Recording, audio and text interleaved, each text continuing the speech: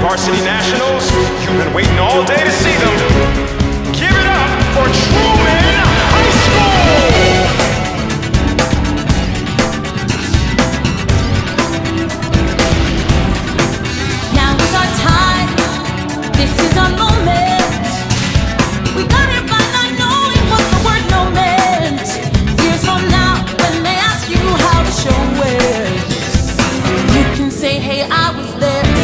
this up.